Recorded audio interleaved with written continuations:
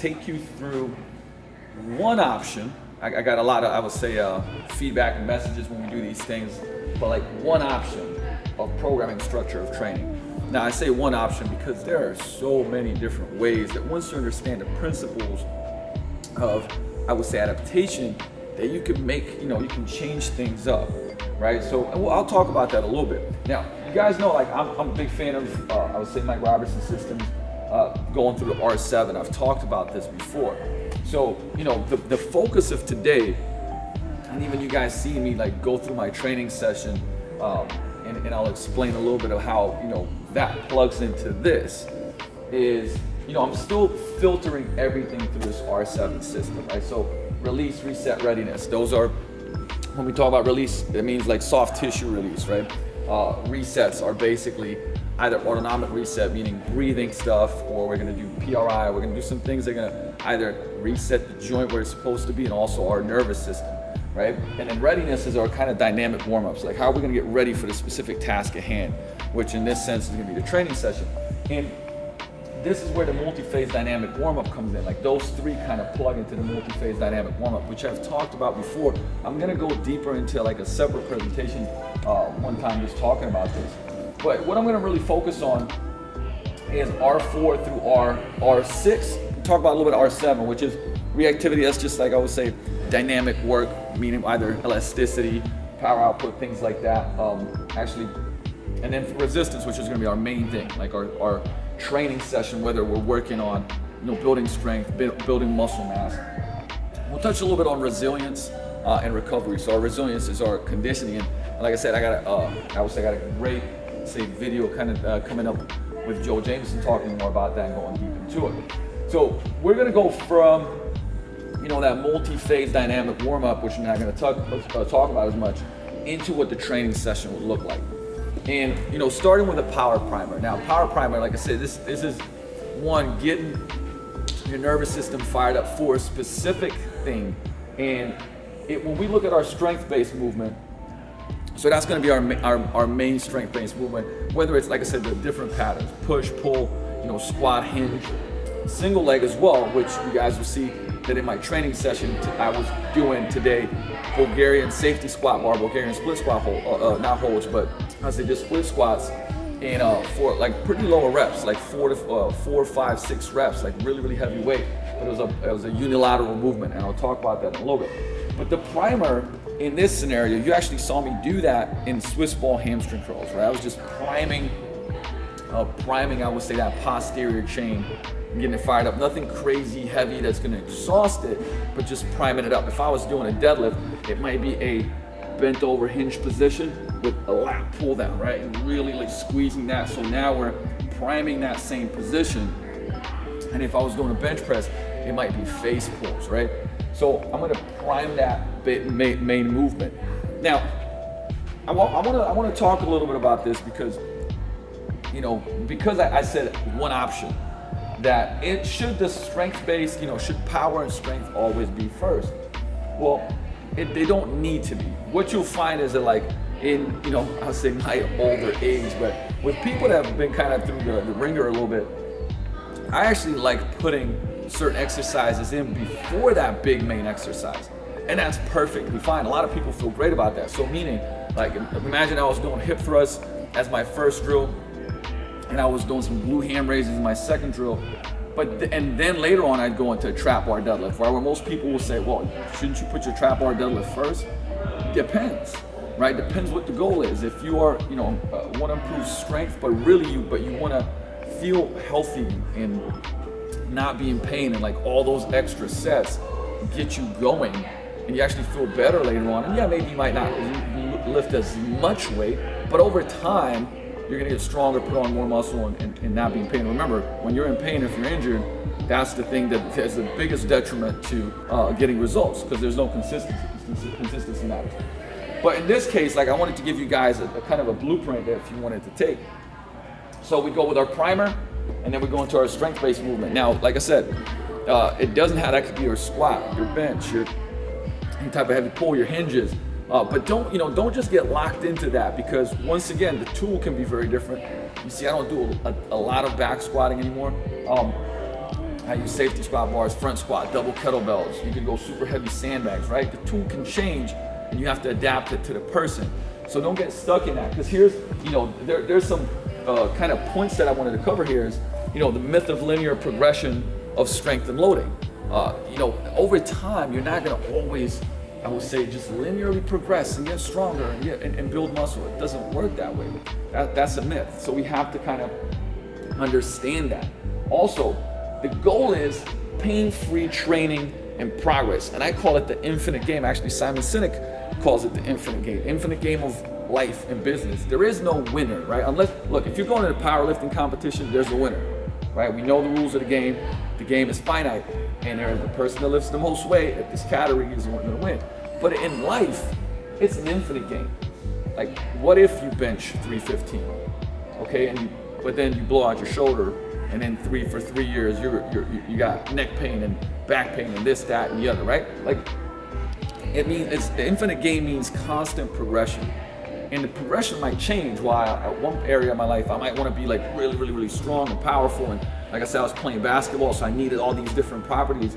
But now hey i don't need to deadlift 600 pounds right? But hey i want to be strong i want to be lean i want to be able to do stuff play sport go for any type of hike i want. I want to be out of pain because when I'm out of pain, I can continue to train and I can continue to have a physical power that I can then apply into all areas of my life. It's an infinite game, right? And remember, you got to earn the right to hit PRs and lift heavy, right? Earn the right. We'll, t- we'll talk a little bit about the importance of, I would say, high quality reps, like perfect form, or should I say, kind of chasing that unicorn, right? So, going back now to, because I think this sets a good foundation when we go into this model of strength-based movement, here's some rules, right? Like I said, don't sacrifice form for more load, right? I call them, we, we talk a lot about form PRs, right? So in our semi-private training or small group training, somebody may have lifted the same weight over the course of, uh, I don't know, the you know four week block that we did. But at the beginning, let's say they were able to front squat, you know, 200 pounds for three reps, but their reps were like, oh, they're rounding and they're coming out of it all funky, right? Imagine that by week by week four, they're lifting 200 pounds. Perfect form, nice and controlled down. Pause, coming back up. Same weight, form PR. But the thing is, we never want to sacrifice form. If that person in that example was lifting that 200 for three, I would we wouldn't let them, right? We'd reduce the weight so they would get the perfect form. But or should I say as close to it? Of course, like we're always improving. But what I mean by don't sacrifice the form is just to get more weight up, don't allow there to be shitty reps, especially not a lot of shitty reps. If if there's comp day, like for instance, if you go to powerlifting meet, you know, you might have that like crappy like rounded deadlift, right? Because you're just kind of getting that PR and, it, and it's a one time or a couple time thing. But in general, we want to have thousands of super high quality reps. Okay? Be open minded to movement variables. Like that's what I was talking about. Uh, I'm a big fan of obviously switching up, like not being locked in into, okay, I'm gonna do barbell bench, I'm gonna do barbell squat, I'm gonna do barbell deadlift, right? Those are my movement patterns, right? You guys saw like, I used as a main strength movement, a single leg Bulgarian with a safety squat bar, right? And I like to alternate those because like I said, loading bilateral movements really, really heavy, consistently over time, usually beats up the joints, right? So you gotta know how to switch it up as well. Also, once again, see, I was I was I was ahead of myself. Don't don't be set dead set on barbell lifts, right? Just especially like straight barbell. If you look around the gym, you'll see we have every type of tool like neutral bars, duffalo bars, safety squat bars, um, swivels, like everything that can improve or, or you know um, help with joint stress and not have the joints be so banged up. And don't train a failure all the time. Like majority, like does that mean in every training session you should train hard? Right? And there's going to be sets where you're going to go to like a, where you have a couple of sets where you're going to push it. That, but that still means like technical failure, right? Very rarely should you just. I mean, you definitely shouldn't be training every rep, every set, uh, you know, in, in, every workout to failure or close to it. And I, I know this is like I was a, a knucklehead and I used to push that, and that's not the smartest thing ever, right? But that doesn't mean you're not training hard, right? It just means you're training smart. After your strength-based movement, we're either gonna have a supplement strength or a primary hypertrophy-based movement, right? So now, once again, this depends on the goal, right? If somebody's really working on strength more, we might supplement that uh, that first movement that we did, for instance, if we did a deadlift, what's to be a supplement movement to that, uh, like for instance, a trap bar deadlift? Well, it might be a dumbbell Bulgarian split squat with a pause, right? And that might be the supplement strength movement, or it might be hypertrophy. So we're just dependent on the rep ranges and what the goals are, right? So, for instance, here, a couple of things that I like to, to throw in when it comes to uh, especially hypertrophy movements. We're gonna have multiple escalating uh, ramp sets. So I like to do ramp up sets for a number of different reasons, right? It, first of all, warming up the system. Neurologically, you start ingraining quality reps, right? If I do two to five sets, uh, ramp up sets. So let's say my my main um, my main work set was three sets of 100 pound dumbbell bench presses, right? I get two to five sets to work up to it. Now there's a couple ways I can do that. I can either go, you know, 10 reps at 35 pounds, and I can go eight to 10 reps at like 55 pounds, and another at like 75 pounds, and you know, maybe another five, six reps at 85 pounds, and then I hit my, my main set. Right, that's one way to do it. So now with great form, I've added some extra volume with really good form, not banging up the joints, kind of getting warmed up to my main sets. Another way that I can do it is like have that last uh, set actually be heavier than the set I'm gonna be working with to like bump that neural activity up, meaning I might be ramping up and my last set before I do the three sets of 100 pounds for 10 reps, my last set is like, a, uh, you know, two to three reps with 120 pounds right? Even though I could probably do more, but now it's like the nervous system obviously is more engaged and then the uh, hundreds feel a little bit lighter. So there's two ways to do it, but the key is like do the ramp up sets. The ramp up sets are gonna add more volume. Now with most of the, I'll say hypertrophy work, we're looking at eight to 15 reps, sometimes more, right? But that range is a good range. Our rest is gonna be about 45 to 75 seconds. Now, is that set in stone? No, because like if you met really, really, really strong people, if they do 12, 12 reps, of a, and I've, I've seen this happen where like 12 reps of a 500 pound squat, you're not resting 75 seconds, all right? You're resting a lot more than that. But this is, like I said, this is a good rule for most people that we train and we've seen it gives you some boundaries. Like I said, whatever I say, somebody's gonna go like, but what about this example, of course, right? That's why I said options, okay? We can, with tempos, we can focus on controlled eccentrics.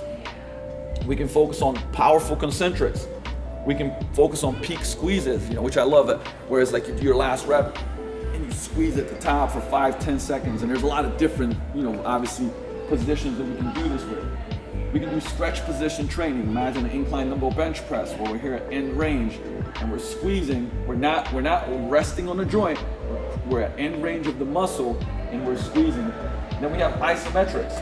And now there's two types of isometrics. There's overcoming isometrics and there's yielding isometrics. Overcoming isometrics are more of a, I would say, used when, it comes to strength training.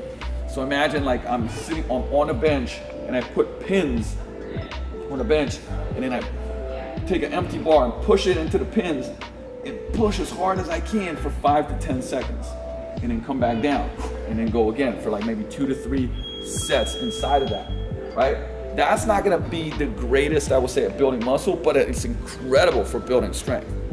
For hypertrophy, we're gonna use more yielding isometrics. So yielding isometrics are, like I said, pauses. So imagine I have, you know, a double kettlebell squat, I'm pulling myself down, and right here I'm pausing for five seconds every rep, right? Or maybe I'm doing a regular set, right? And at the end, my last rep, I'm holding for as long as I possibly can, right? Then coming out of it. So those would be yielding isometrics. Right? When it comes to rhythm, when it with hypertrophy muscle building, we think about like constant tension a lot. Okay, so controlled constant tension and the mind muscle connection, which has been proven like that that it matters, right? So meaning if I'm coaching somebody through and telling them to squeeze, so let's take a dumbbell bench press for, for instance, and they're controlling down, right? And as they're coming up, I'm telling them to squeeze an imaginary balloon and feel your chest. Okay, so not banging them together, but as an imaginary balloon. I'm squeezing that imaginary balloon and I'm pulling down, I'm constantly squeezing, right? There's gonna be more tension in my pecs.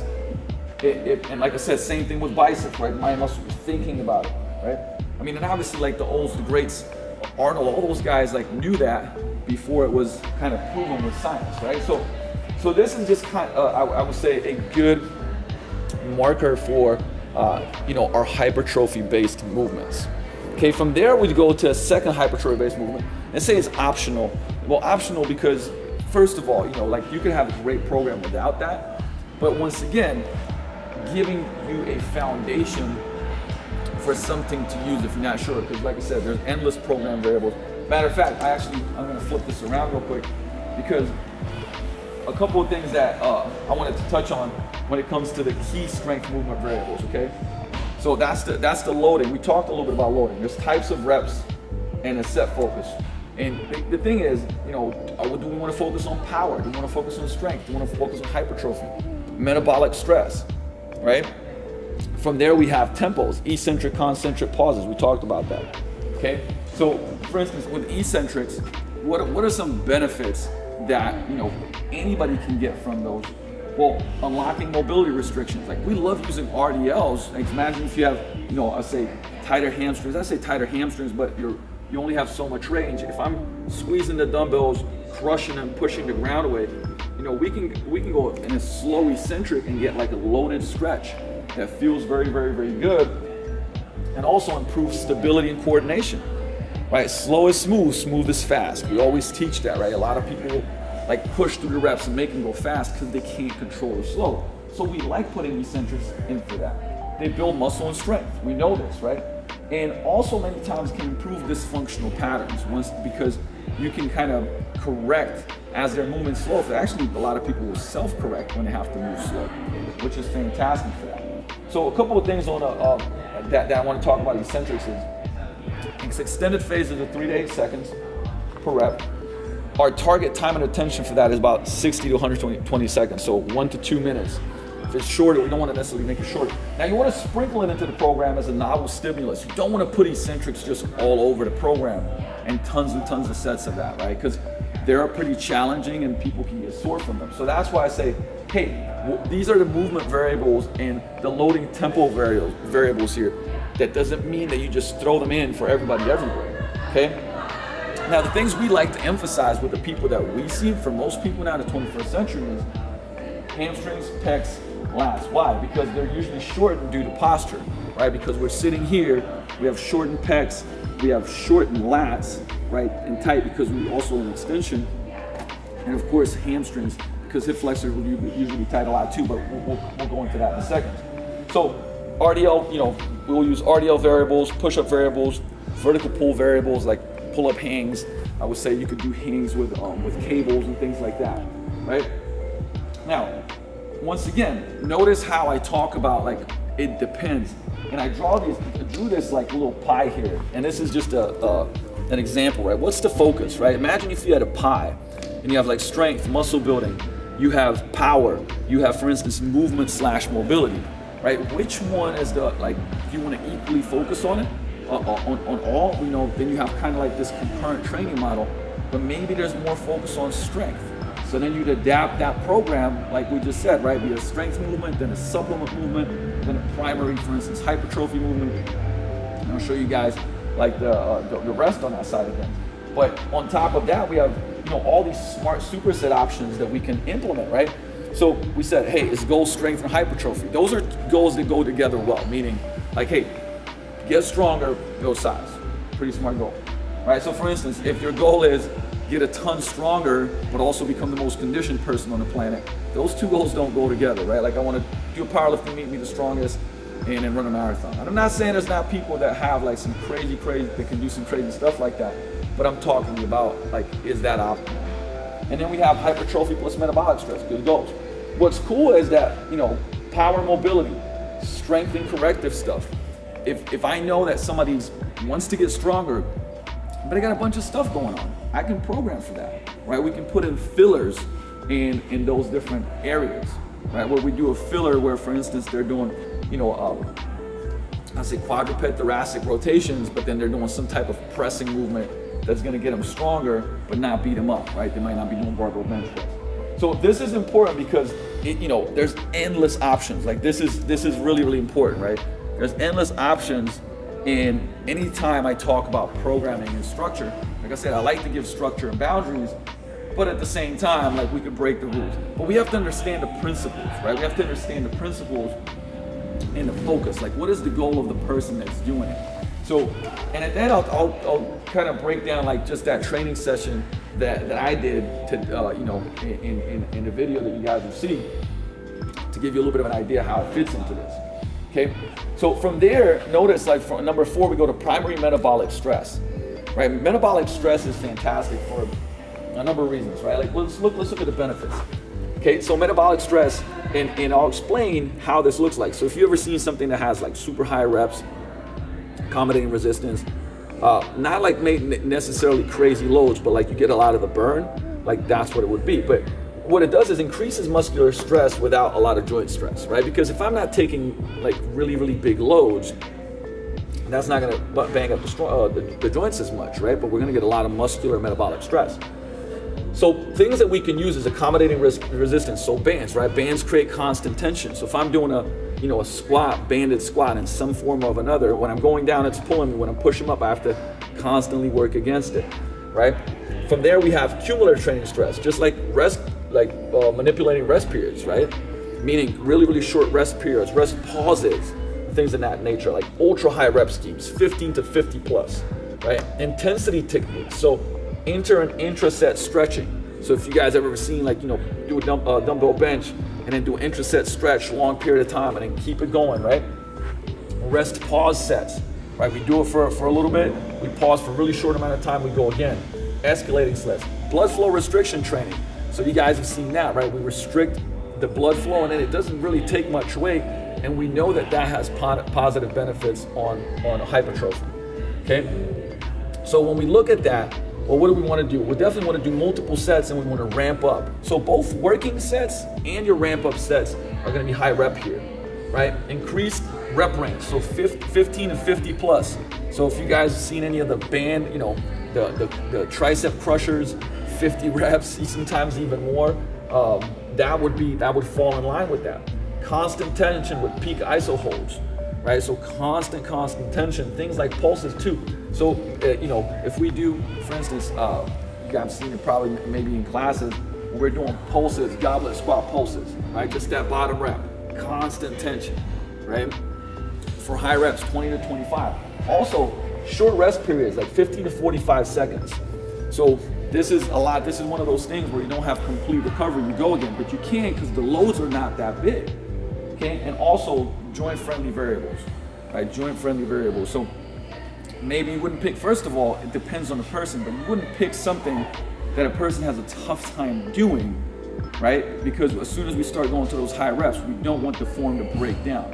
Okay, and we want the joints to be centrated, meaning one of the things that you know tends to happen is like if I'm doing high rep, does you know I don't know it start becoming really really horrible. So we don't want that, right? We still want to have great form when it comes to this.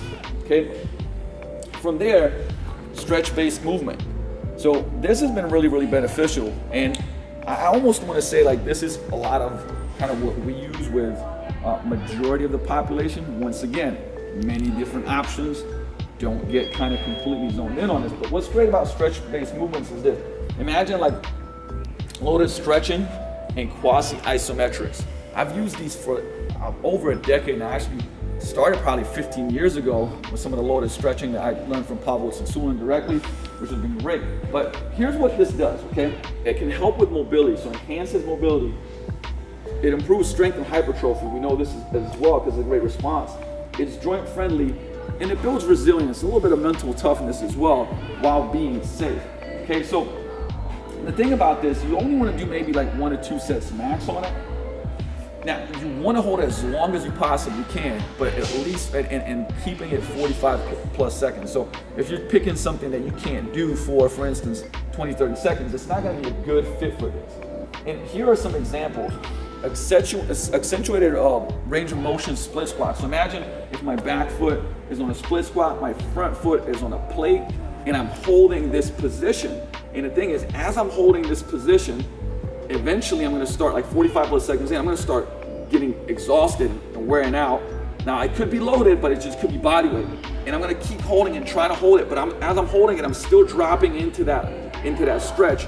And so what we know is that those quasi-isometric stretches actually stretch certain fibers when muscles are under tension. which you can't do with passive stretching. You just can't do it. Push up iso hold, slide incline dumbbell benches, right? When we're here in a slide incline dumbbell bench and then just holding. What's important when it comes to that is to know we're trying to get to the end range of the muscle. I'm sorry, it has to be end range of the joint, not end range of the muscle, if that makes sense. Okay? Because the end range of the muscle, the joint's gonna be in a crappy position, right? The joint, it has to be end range of the joint so it's safe and centrated. Pull-up hangs are great. Dumbbell RDLs, we talked about those.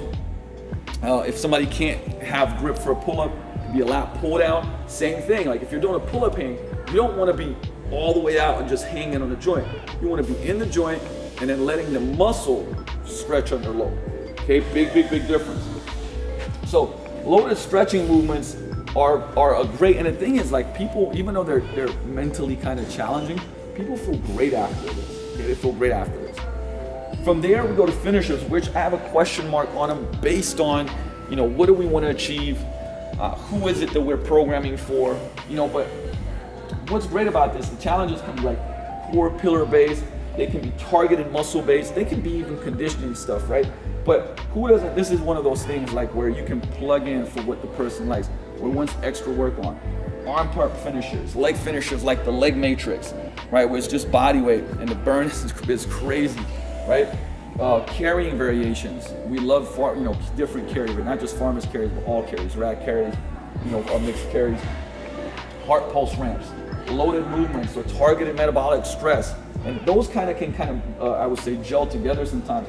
And then sprints are just traditional conditioning, which once again, we then move into, you know, just cardio uh, energy system training that that is has its kind of own pocket, which we'll talk about more later because, you know, where, where should this fall in? As we go through this, the question that comes up is, hey, how much time does a person have to do this program? And like, see, that all falls in line with starting at the kind of with the end in mind, right? Maybe a person has 45 to 60 minutes. Okay, what, what is going to be the big rocks that we can fit in here? And that's where maybe the finishers in a cardio are really all in one, right? So how can we, we superset certain things? Those are all, like, like I said, all questions because you can make the best program on paper. It doesn't matter if a person can execute it. So that's where it's very, very, very important. And then at the end we have recovery. And like, you know, this is one of those things where uh, you, in a workout, look, you can either do it right after, six hours post workout is probably ideal, but for most people, that's just not realistic. Right? It's just not realistic. Where you can do it on off days. And some of the recovery stuff, I mean, look, it, put it this way the, the off days, you, you don't want to have to worry about this as much. It's going to be things like LISS, which is just like steady state cardio.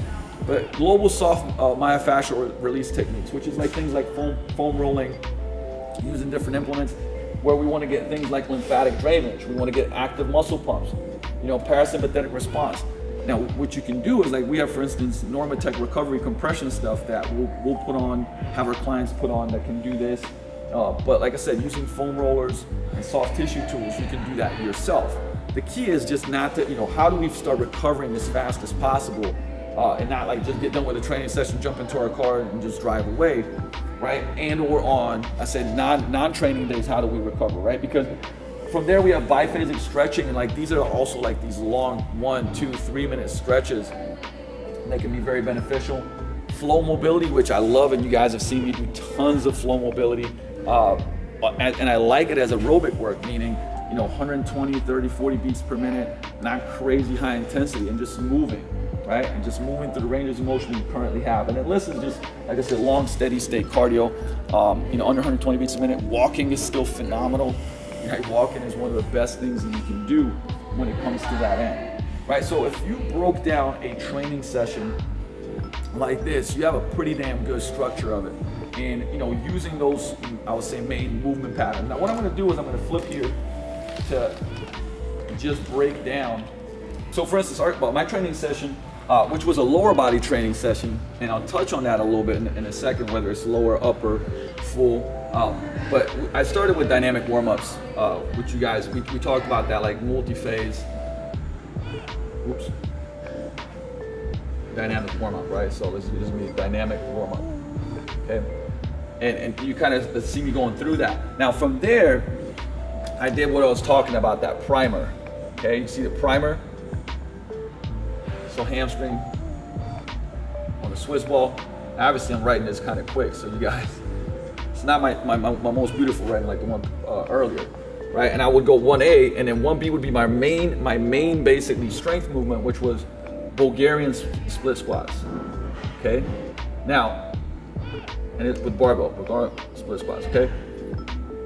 Now here's the thing, right? You guys saw me saw use that transformer bar because one, I can keep a better position, get my lats nice and tight. So this is another example of using a tool to be able to better fit the person because once again, direct barbell on my back, you know, heavy loads, keeping this here just stresses me out more. But my my rep range there was four of six per side. A couple I got fives because I, I went really heavy on this, right? So that was very, very challenging. Now here's one thing that I didn't mention earlier, but because of time crunches, like a lot of times, how do I fit in reactivity? I like doing contrast training, right? So a heavy lift followed by a explosive movement. And so here I did single leg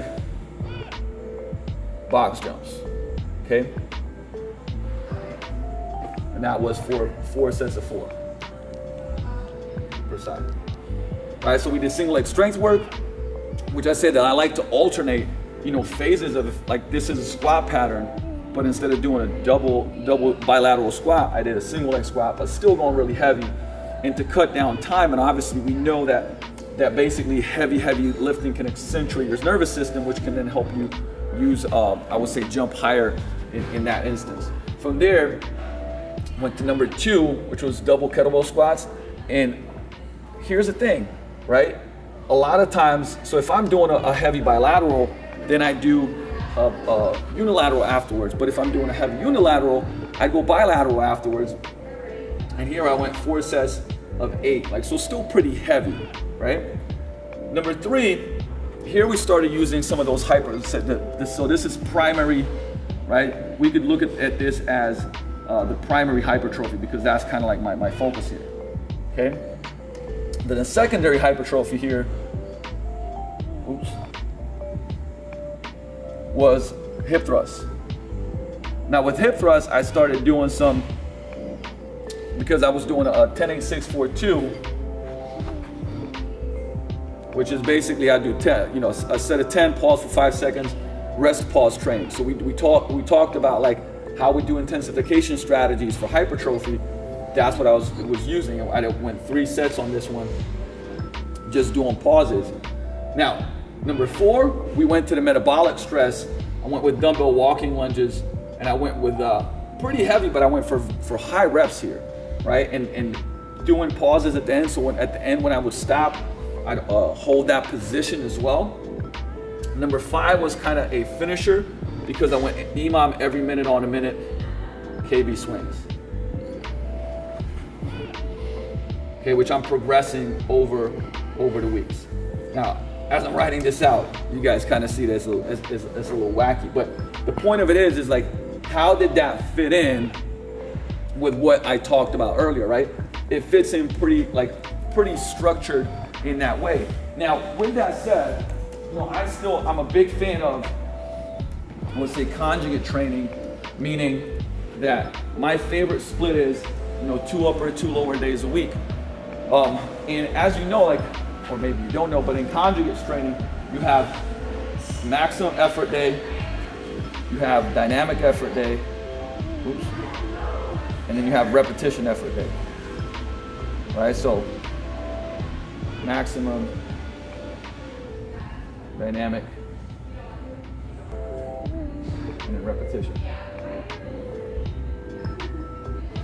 So these are different focuses and different intensities. You don't have to use all of them, but I'll give you an example.